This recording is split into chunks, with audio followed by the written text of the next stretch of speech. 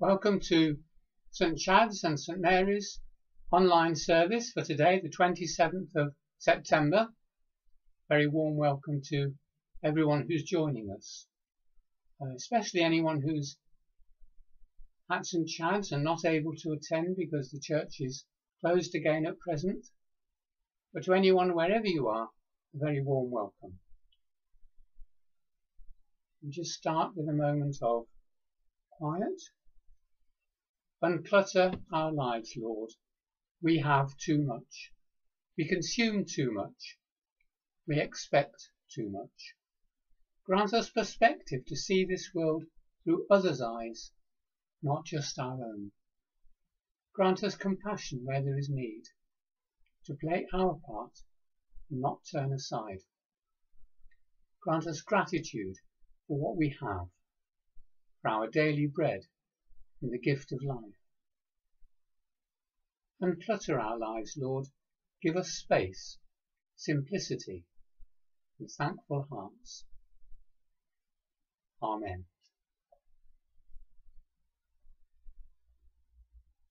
Today we're talking about the theme of Creation Tide, as we have for the last few weeks. Last week we looked at harvest, the way God provides for us for our physical needs and our other needs. Today we're going on to a slightly different theme, that of the gift of Sabbath rest. Now unless you're or were a fan of heavy metal, perhaps in the 70s, anyone meant hearing the mention of the word Sabbath would probably think either of a killjoy wanting to take everyone's pleasure away, or thinking of Jesus arguing with the Pharisees about how to use the Sabbath, how it was meant to be used and spent. It was a gift originally intended to bless us, and that's what we'll be looking at today. The uh, first reading is slightly off not talking about the weekly Sabbath, but again about a Sabbath every seventh year when the whole land itself was given a rest. We'll be looking at that. And then Gospel reading, which again might not be the one you'd expect.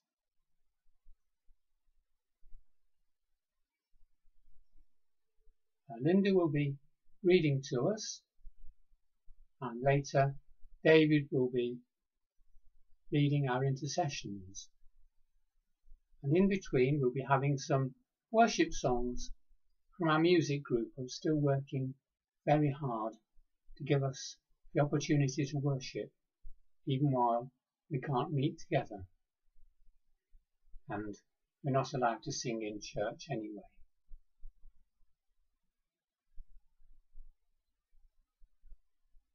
So let's begin our worship. Almighty God, you have broken the tyranny of sin and have sent the Spirit of your Son into our hearts, whereby we call you Father. Give us grace to dedicate our freedom to your service, that we and all creation may be brought to the glorious liberty of the children of God, through Jesus Christ, your Son, our Lord who is alive and reigns with you in the unity of the Holy Spirit, one God, now and forever. Amen.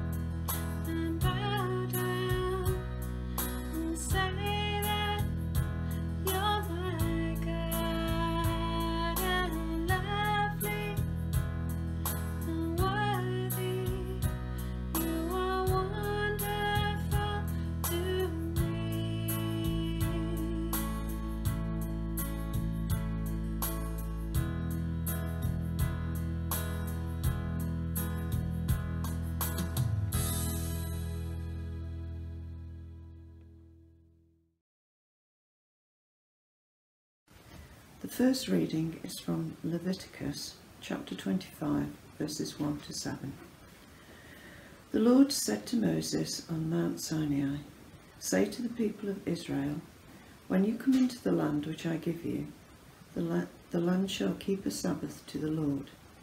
Six years you shall sow your field, and six years you shall prune your vineyard, and gather in its fruits.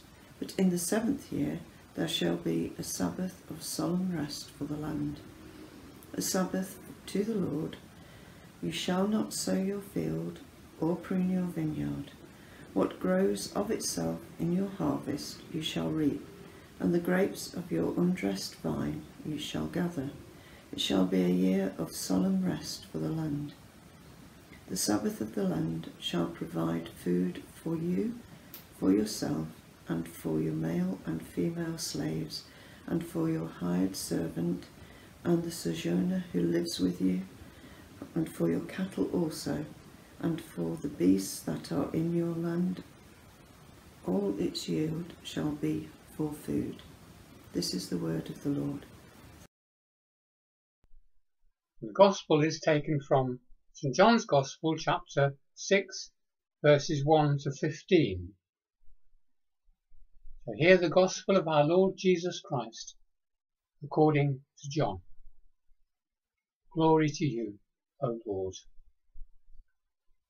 Some time after this, Jesus crossed to the far shore of the Sea of Galilee, that is, the Sea of Tiberias, and a great crowd of people followed him because they saw the signs he had performed by healing the sick.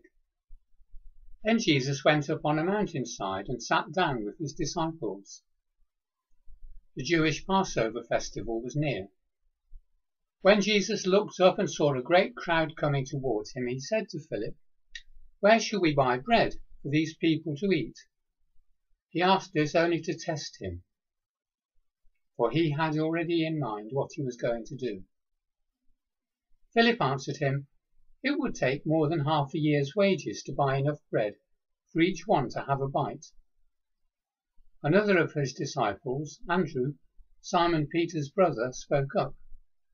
Here is a boy with five small barley loaves and two small fish. But how far will they go among so many? Jesus said, Have the people sit down. There was plenty of grass in that place, and they sat down. About five thousand men were there.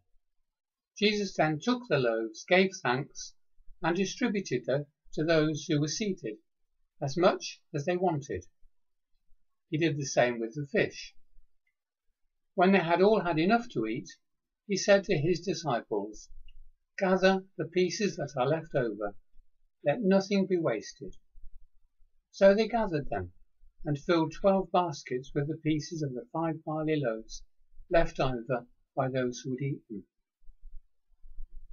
After the people saw the sign Jesus performed, they began to say, Surely this is the prophet who was to come into the world. Jesus, knowing that they intended to come and make him king by force, withdrew again to a mountain by himself. This is the gospel of the Lord. Praise to you, O Christ. Can we just pray for a moment before we start? Father, we thank you for your word, living and active in our lives. Grant that as we hear your message today for us, we have an opportunity to meet you to spend our time with you, to hear your word too. Receive more of your heart for our lives. In Jesus' name, Amen. As I said, today we're looking at the theme of Sabbath rest as part of looking at the creation. Normally we think of the Sabbath day each week, the lesson we heard today, the reading was about the Sabbath year, once a year, once every seven years. We're told in Leviticus, the Lord said to Moses, Speak to the Israelites and say to them, When you enter the land I am going to give you, the land itself must observe a Sabbath to the Lord. The land was to have a rest, just like we need a rest one day a week or we wear out. So land being used for farming needs to lie fallow, needs a rest. Once every seven years is God's plan for it. Fields was a was a sort of pattern of doing this across Europe, across Africa, across Asia. The land would be allowed to rest every few years. Sometimes there was a pattern of every other year, fields would be divided into half and half would be planted one year, half would be planted the other year. They'd rest in between. Sometimes they did it on a three-year cycle or a four-year cycle with three different crops followed by a rest. As agriculture became more industrialized, it cost more to set up, so that was eating into their profits, and many people decided they'd ignore this sort of pattern that had proved so valuable but would just plant fields every year. But obviously you don't get a profit if you don't plough the land and plant something. But studies have shown a lot of benefits from allowing crop fields to have a rest every few years. They can benefit from gaining or regaining their nutrients, which can be taken out by some plants or often just like to be washed out if it's irrigated too much. And so this was considered essential. It was part of a sort of threefold pattern. You had the weekly Sabbath day, the every seven years a Sabbath year, and every seven Sabbath years was what was called the Jubilee. After the 49 years, seven years at a time, the 50th year was to be an extra day called the Jubilee. Consecrate the 50th year, said God, and proclaim liberty throughout the land to all its inhabitants. Each of you is to return to your family property and to your own clan. Fiftieth year shall be a jubilee. Do not sow and do not reap, or harvest the untended vines, for it is to be holy. In this year of jubilee, everyone was to return to their own property, and in addition, if they'd got into debt, had to sell themselves as bond servants to survive, they were to be set free. They were to be given back their land so that whatever happened in between, they could start again. God could assert that the land was his to be used in his way. But although they'd been put in the land, they could only use it in his way. The land is mine was what God said about it. Although God gave Israel the land as a blessing, a good gift, yet he retained the final ownership. He demonstrated this ownership by laws which prevented it being exploited and prevented the people who lived in it being exploited. They didn't possess the land, they were tenants and God could terminate their lease if they proved undesirable. It symbolized their life with God. Now today, most people reject the whole idea that the land belongs to God. Even though lots of scientific evidence supports the idea that the universe was created and created indeed to support human life. Scientists and non-scientists will often choose to reject this, not because of the evidence, but simply because they've decided to reject it and to reject God in advance. The result of that we'll come to in a moment. But the account in Exodus is slightly different from the account in Deuteronomy. We get two different sets of instructions on the Sabbath. They're not so very different. They differ in the way they understand what the day means, how important it is. In Exodus we read, Remember the Sabbath day by keeping it holy. Six days you shall labour and do all your work, but the seventh day is a Sabbath to the Lord your God. On it you shall not do any work, neither you nor your son or daughter, nor your male or female servant, nor your animals, nor any foreigner residing in your towns. For in six days the Lord made the heavens and the earth, the sea and all that is in them. But he rested on the seventh day. Therefore the Lord blessed the Sabbath day and made it holy. And the Sabbath is to remind us of creation and our part in it. The Deuteronomy account gives a very different reason. Observe the Sabbath by keeping it holy, as the Lord your God has commanded you, it begins. The details then are the same, but the reason given is very different. Remember, it says, that you were slaves in Egypt, but the Lord your God brought you out of there with a mighty hand and an outstretched arm. Therefore the Lord your God has commanded you to observe the Sabbath day. Here there's no reference to the creation. Instead, the law speaks about a historical event, the Exodus. We keep the Sabbath not because God rested on the seventh day, but because he took our ancestors out of Egypt, from slavery to freedom. And we follow that not because we're part of that race, but because Christ transformed that and becomes now a remembrance of Jesus setting us free from slavery to sin.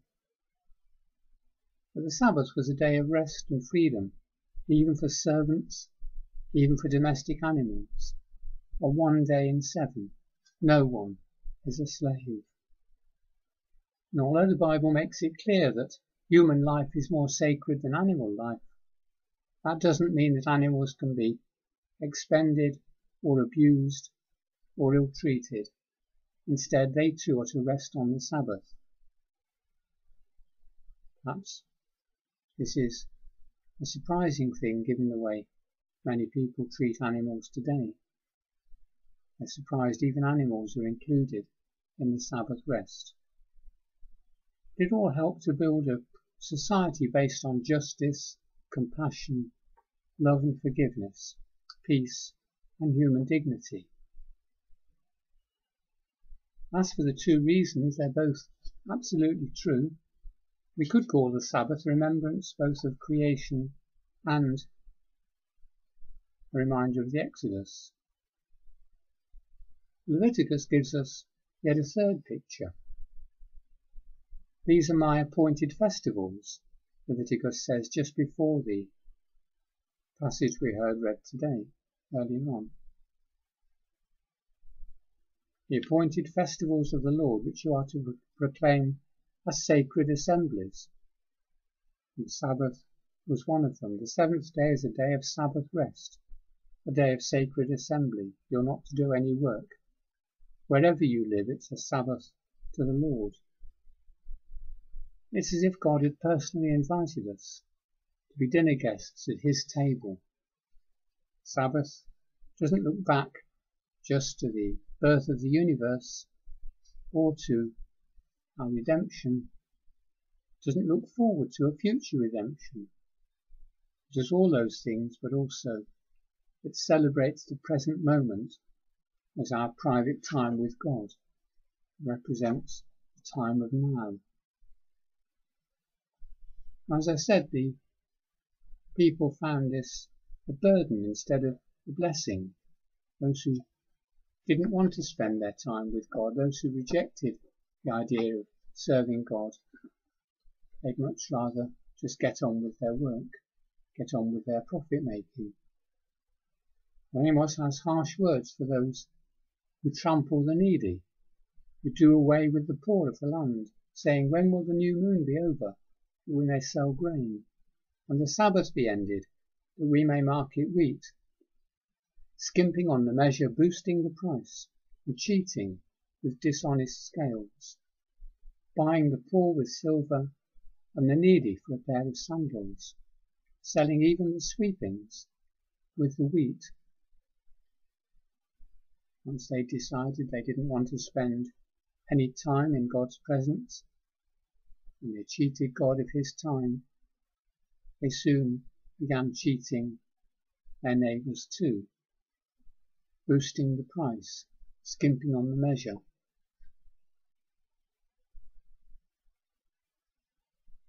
And God warned the people that that would be a serious matter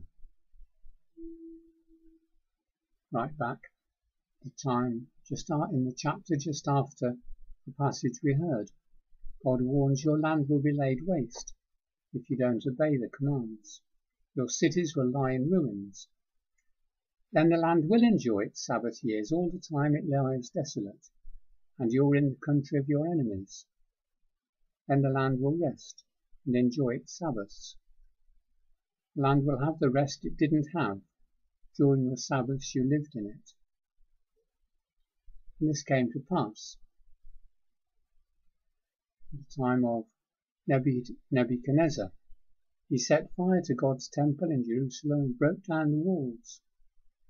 He burned all the palaces, destroyed everything of value. He carried into exile in Babylon the remnant who escaped from the sword. They all became servants to him and his successors until the kingdom of Persia came to power. The land enjoyed its Sabbath rests after all. All the time of its desolation, the seventy years, it rested until the years were completed, in fulfillment of the word spoken by Jeremiah. Roughly 490 years it would take to build up a debt of 70 years. That was about the time that they were there, from the time they arrived till the time of the exile. How different from those who love to spend time with God. They too joined in the loss. They too were taken away. Even there, they couldn't be deprived of God's presence. But the whole people suffered together.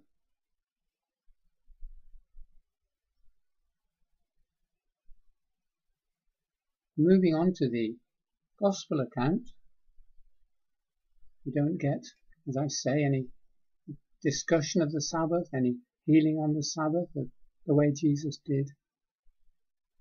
Instead, we hear how Jesus fed a multitude, a crowd, with just five loaves and two fish. We're told he travelled from Jerusalem, travelled up to the other side of the Sea of Galilee. We're also told it happened around the time of the Passover, feast established to remember how God had set the people free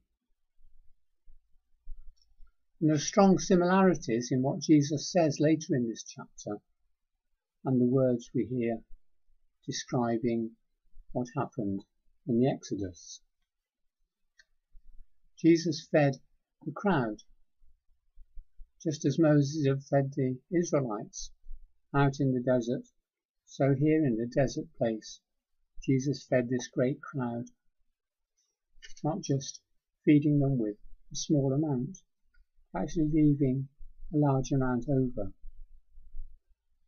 Jesus is able to do this, pointing to the fact that Jesus was here to fulfill all that God had promised. Ultimately, the Sabbath, like everything else in the Old Testament, points to Christ for its fulfillment. Christ, our Redeemer, through whom all things were created, who brings rest to the people of God. Brings that rest, we're told in Hebrews, those who will receive his rest. He promises it himself. Come to me, all you who are weary and burdened, and I will give you rest. Sabbath, like the other commandments, wasn't meant as a burden. Was a blessed release from hard labour, a blessing. And the holiness of this day separates it so that it can be enjoyed with God by sharing His rest, celebrating His work of creation and redemption. We meet with God. We have the opportunity to spend time with Him, whether it's God's call to us or our call to Him, whether He initiates the meeting or we do. We have holy time together, time which becomes almost like a lover's rendezvous, a weekly date, an opportunity to have a still point in the world that keeps turning, when Creator and creation can make time for one another, know one another in what we call prayer, in form of knowledge that we call love.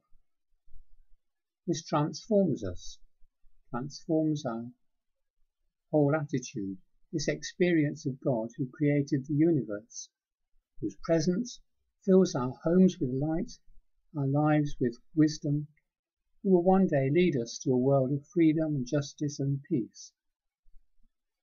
But Meanwhile, here on earth now, just as we see the world suffering from the way we've treated it, the way we've exploited it, the way we've made our own profit more important than caring for the land. We have to remember that we are the earth's guardians we look after it on behalf of its creator. We look after it for the sake of future generations. It's important we have a, vision that shows us, it reminds us that the land belongs to God. It doesn't belong to us. It belongs to God. We to look after it for God, as He originally commanded, and we're to look after it for future generations, our children, our grandchildren, and so on. So, that God who blesses us in so many ways, may we offer our might, uh, our worship and praise to His might, His majesty. May we worship Him and come to love Him more and more each day. In Jesus' name. Amen.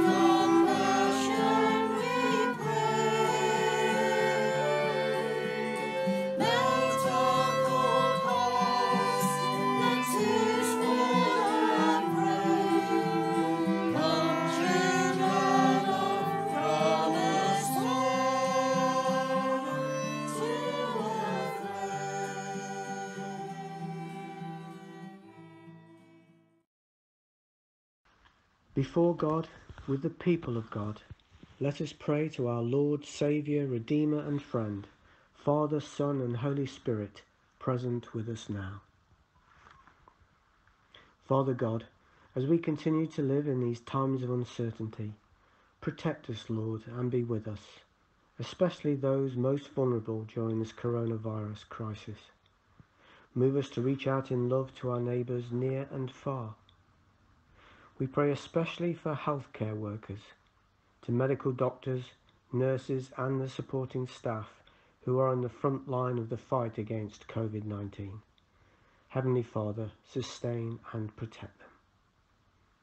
We pray that your Spirit might inspire those researching new medicines and treatments, and as an effective vaccine to combat the virus be speedily found. And in the midst of this, keep us strong in faith, hope and love. Lord, in your mercy, hear our prayer. Father God, we pray for those who are guiding our nation at this time and shaping national policies, that they may make wise decisions and be guided by a true desire to work for the common good. We pray for peace, justice and reconciliation throughout the world. We pray for the honouring of human rights and for the relief of the oppressed. We give thanks for all that is gracious in the lives of men, women and children. Almighty, Almighty God, the Father of all humanity, turn, we pray, the hearts of all peoples and their rulers, that by the power of your Holy Spirit, peace may be established among the nations on the foundation of justice, righteousness and truth, through him who is lifted upon the cross to draw all people to himself, your Son, Jesus Christ, our Lord. We pray for the renewal of the Church in faith, love and service, and for the life of our communities at St Chad's and St Mary. We give thanks for the gift of your word for Christian people everywhere, that we may joyfully proclaim and live our faith in Jesus Christ. In peace, let us pray to Jesus our Lord, who ever lives to make intercession for us. And in a quiet moment, let us bring before God those known to us who are in need of healing and wholeness.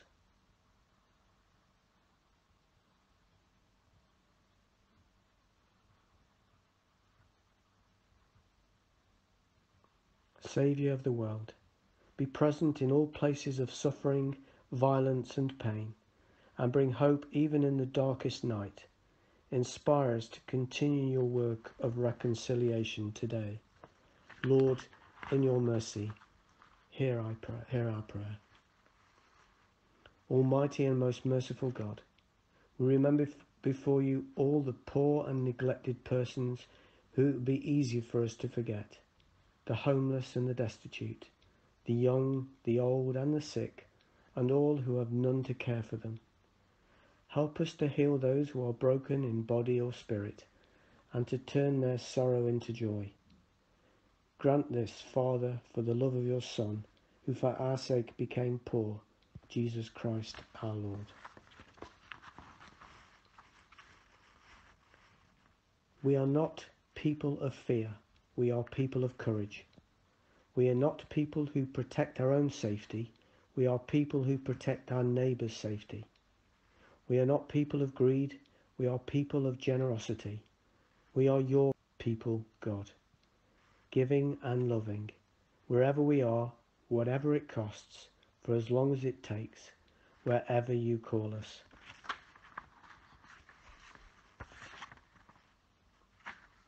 And finally, Lord Jesus Christ, you said to your disciples, I am with you always. Be with us all today as we offer ourselves to you. Hear our prayers for others and for ourselves, and keep us in your care. Merciful Father, accept these prayers for the sake of your Son, our Saviour, Jesus Christ. Amen.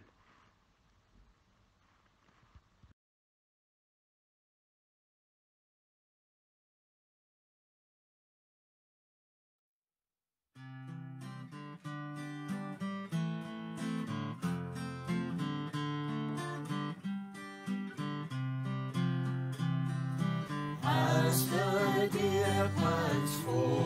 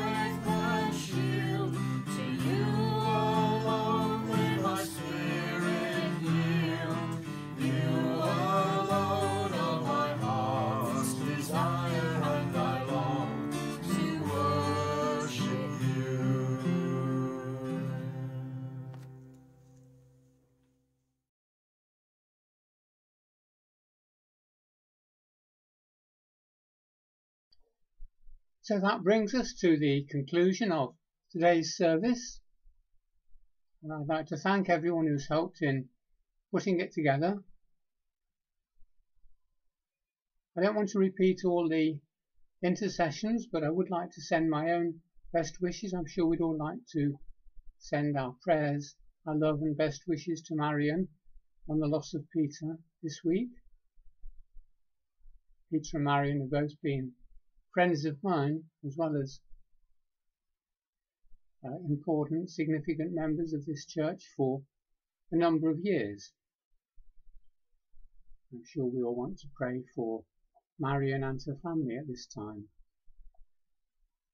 And I also send my own best wishes and prayers for the Reverend Les Rees, who's priest in charge over at Hanbury.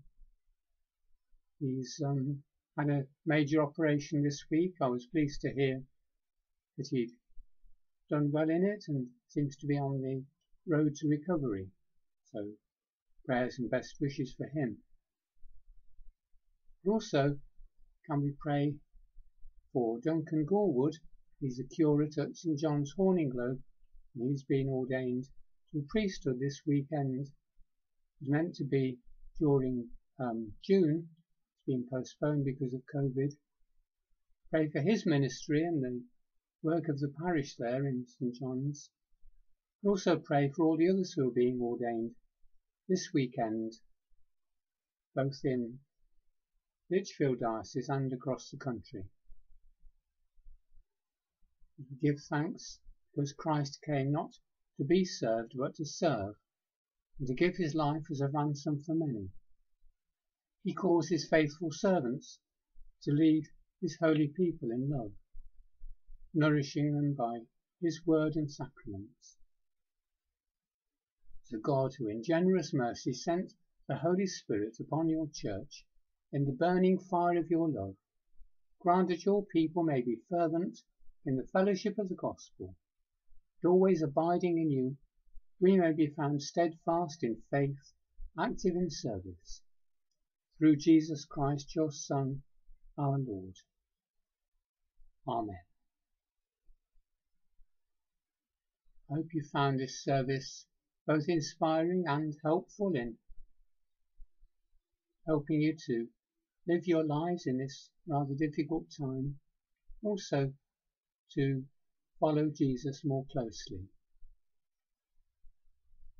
If there's anything you'd like to discuss, either about the uh, service or about anything in your lives, if you'd like prayer for any reason, we'd be delighted to talk to you. There'll be some contact details coming up in just a few moments.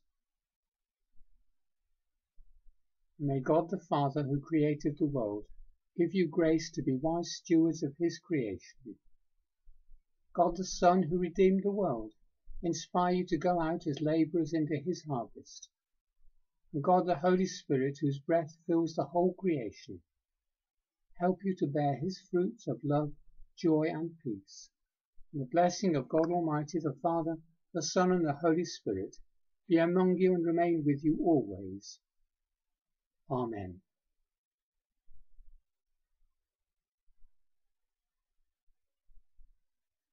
So look after yourselves this week. Stay safe. Let us bless the Lord. Thanks be to God.